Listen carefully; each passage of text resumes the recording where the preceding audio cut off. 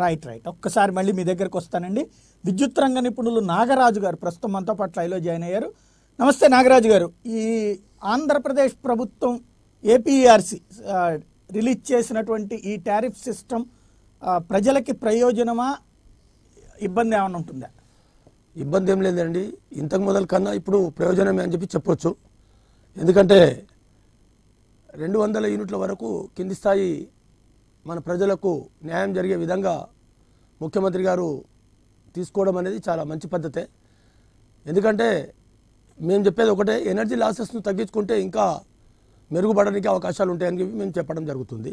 అలాగే సోలార్ను ఈ అపార్ట్మెంట్స్ ఏవైతే ఉంటాయో ఈ అపార్ట్మెంట్స్లలో ఈ ఇండివిజువల్ మీటర్లు పెట్టకుండా డొమెస్టిక్ ఒకటే టారిఫ్ రేట్ పెట్టి ఒకటే సిటీ మీటర్ పెట్టినట్లయితే ఇంకా చాలా బ్రా బ్రహ్మాండంగా ఉంటుందని మేము చెప్పకనే చెప్పొచ్చు. ఎందుకంటే ముప్పై ఏళ్ళ నుంచి మేము కింది స్థాయిలో వర్క్ చేసుకుంటూ వస్తున్నాం. నేను ఈఆర్సీ అడ్వైజర్ తెలంగాణలో. దోచుకోమని చెబుతున్నారా?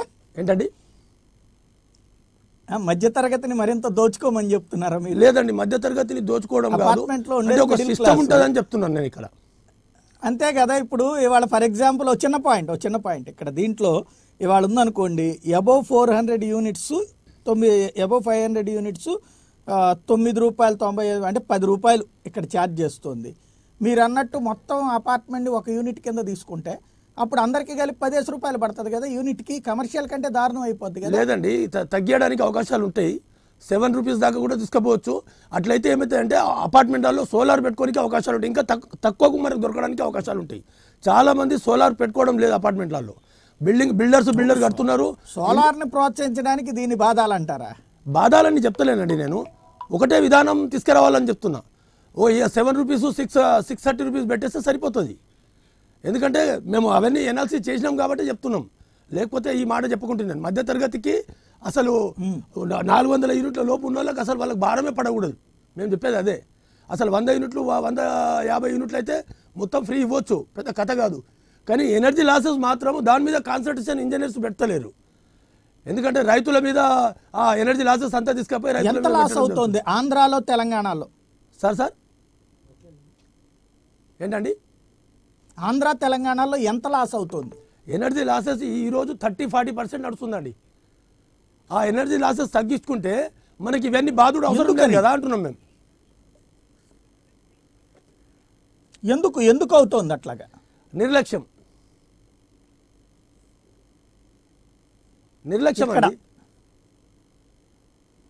ఎక్కడ? నిర్లక్ష్యం?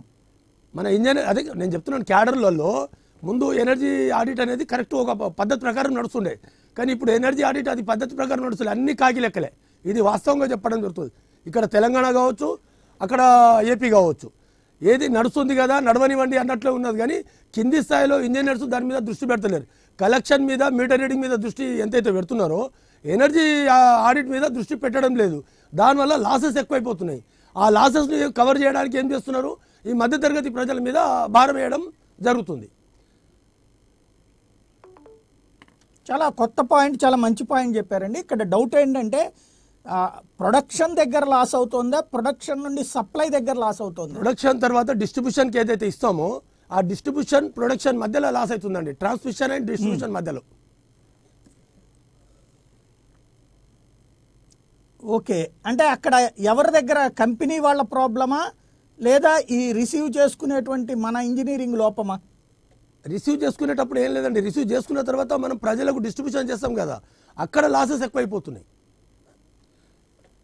ఎందుకంటే గతంలో మేము ఒక సబ్స్టేషన్ ఓకే. అంటే అక్కడ ఇంజనీరింగ్ వాళ్ళకి చేత కావట్లేదా? ఇంజనీరింగ్ వాళ్ళు అదే దాని మీద కాన్సన్ట్రేషన్ పెట్టడం లేదు. ఓన్లీ పబ్లిక్ నుంచి రెవెన్యూ రానికే ఇంజనీర్లు పనిచేస్తున్నారు ఈరోజు. టెక్నికల్ అనేది మర్చిపోయారు ఈరోజు. టెక్నికల్ పాయింట్స్ అనేటి వాళ్ళు మర్చిపోయి engineers only collection meter reading collection meter reading మీదనే చాలా దృష్టి పెట్టడం వల్ల ఈ ఎనర్జీ లాసెస్ మీద వాళ్ళు కాన్సన్ట్రేషన్ పెట్టలేకపోతున్నారు. రైట్ చాలా మంచి వ్యాలిడ్ పాయింట్ చెప్పారు. ఇది ప్రభుత్వాలకి తెలియదా? ప్రభుత్వాలకు తెలుసండి. కానీ దాని మీద ఎవరు దృష్టి పెట్టడం లేదనేది మా ఆవేదన. ఎందుకంటే మేము ఒక సబ్స్టేషన్కు దత్తత తీసుకొని మేము మెయింటైన్ చేయడం జరిగింది. జస్ట్ మినిట్ ప్లీజ్ డెబ్బై రెండు పర్సెంట్ లాసెస్ ఉన్న సబ్స్టేషన్ అండి అది. అరవై ఏళ్ళ సబ్స్టేషన్ మొత్తం దానికి మెయింటెనెన్స్ చేస్తే ట్వెల్వ్ పర్సెంట్కు తగ్గిపోయింది. సెవెంటీ టూ పర్సెంట్ ఎక్కడ? ట్వెల్వ్ పర్సెంట్ ఎక్కడ? Sixty percent losses energy losses తగ్గింది. ఆ సిక్స్టీ పర్సెంట్ లాసెస్తోని బీద ప్రజలకు ఫ్రీ కరెంట్ ఇచ్చినా నడుస్తుంది. అది మేము అది చెప్పాల చెప్పాలనుకుంటున్నాం.